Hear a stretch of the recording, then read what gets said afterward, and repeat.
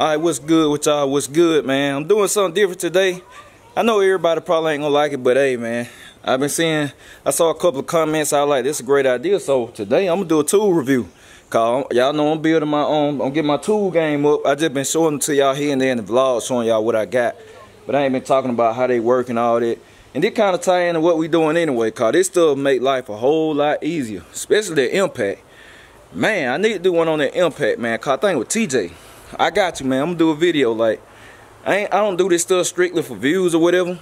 I do it cause I really like it. That's why I've been doing it 12 years. I've been doing YouTube 12 years. I ain't been getting paid 12 years, but I love it, man. I love what I do. I really appreciate y'all too. Uh, it sound, you know, it's easy to say on camera, but I really do appreciate everybody, man. I mean, you got die-hard loyal supporters, and then you got people that come for certain content, then you just got people that in and out. So, but I appreciate everybody in the end, but I'm gonna review this. Uh, I'm gonna review the air compressor car. Why not? One of y'all might want it. One of y'all might need it. None of this stuff. It ain't no paid review. I buy all these tools, so I'm just I'm gonna show y'all the setup and all this stuff. So let's get into it. All right, so this it. This is what I got. As you can see by the thumbnail, Kobalt eight gallon air compressor.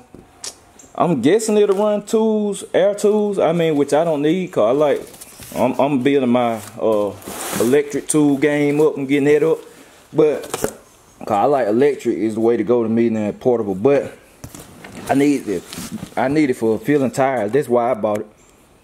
Caught a good deal on it. Bought it from Lowe's. But uh, you know, stuff like that.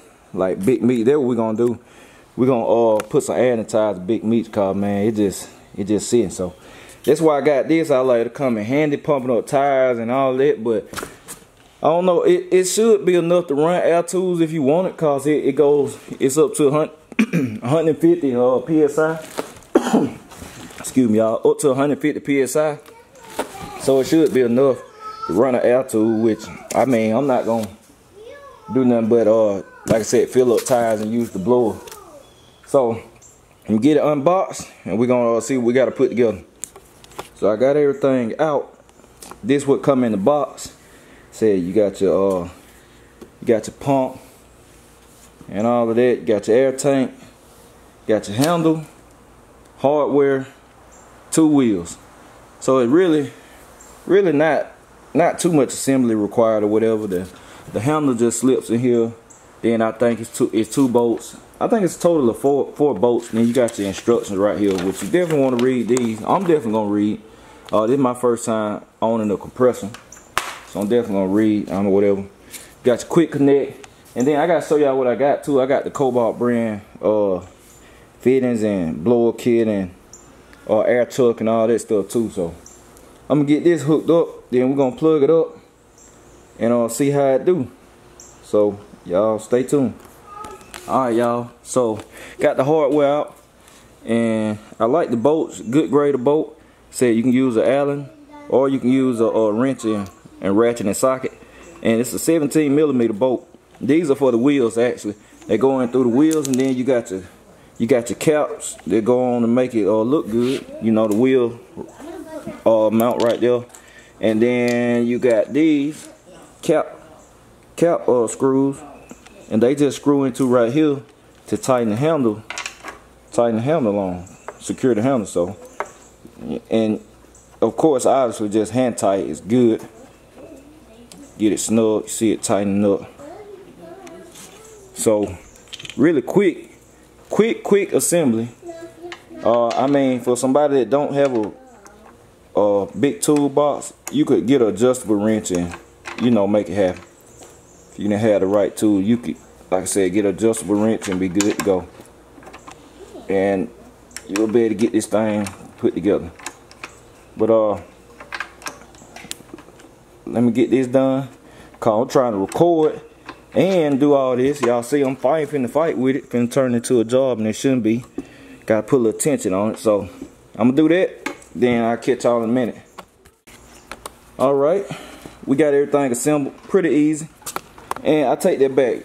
Adjustable wrench, uh, you wouldn't be able to get up in there. So get you a 17 millimeter wrench so you can hold that that nut on the back side make it easy and just hit the uh hit the bolt right here with a ratchet and like I said 17 millimeter Um, but I went ahead and went with Kobalt brand everything. I figured it'll work best. I mean, it's Kobalt compressor.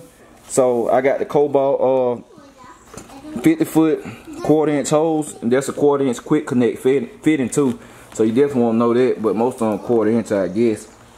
Uh, said that's the max PSI and all that. This is a 50, $52 hose. Like I said, it's the most expensive one they had. So I figure it's the best. Get what you pay for. And I don't believe in going cheap on tools. I mean, I believe in getting what you need too. Like, they make way more expensive air compressor, but if you don't need all of that, like, don't get it.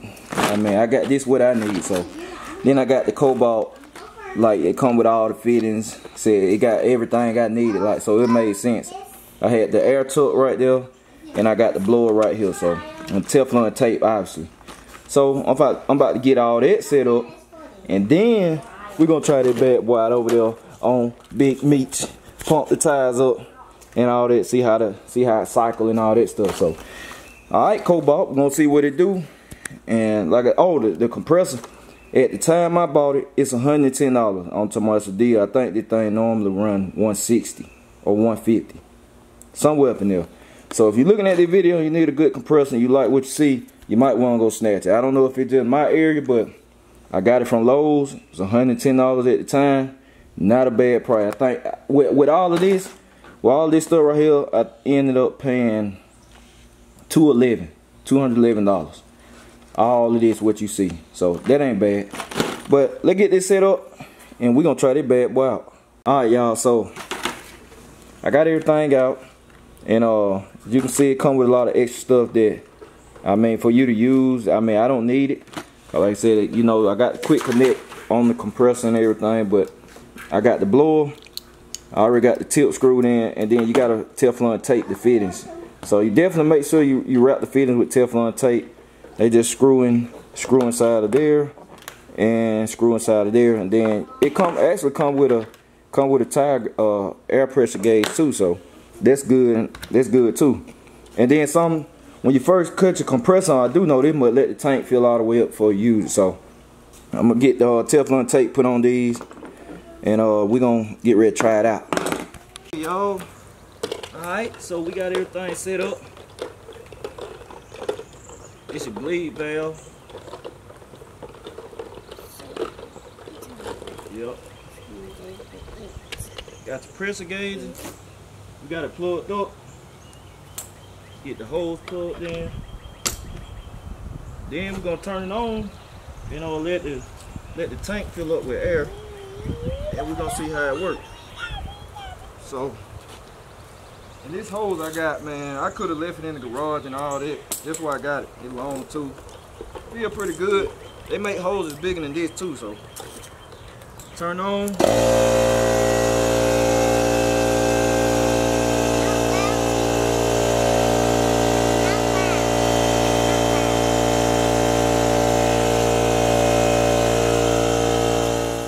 y'all. So, got everything straightened out. Teflon tape, we good. No leaks. And uh, you got a pressure, you got a tool pressure valve right here. I got it turned all the way up. Good pressure. So this the blower.